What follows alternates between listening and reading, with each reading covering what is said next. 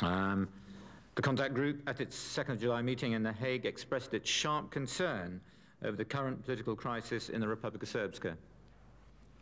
Recent developments have a direct bearing on the implementation of the peace agreement and on the prospects for the growth of democracy throughout Bosnia-Herzegovina.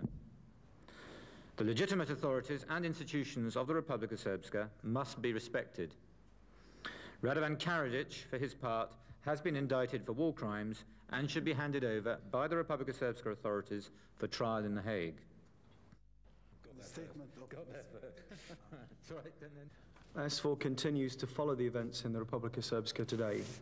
In Banja Luka last night, uh, routine foot patrols were enhanced by a mobile patro patrol of platoon strength, Th and this patrol was withdrawn earlier this morning. The situation was and remains calm.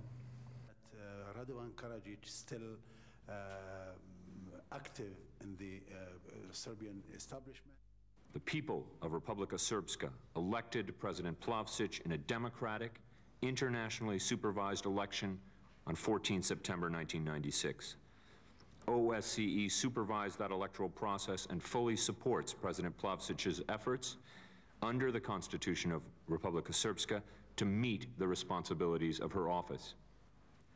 OSCE believes President Plavsic is doing her best to implement the Dayton Agreement in the face of resistance by elements of the ruling Serb Democratic Party, some of whom have opposed the agreement from its inception.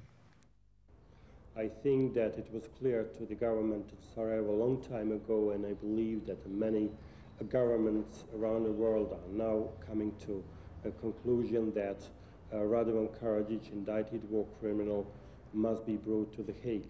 Without that, there is no Dayton Agreement, and peace, a permanent peace, will not uh, come to Bosnia and Herzegovina.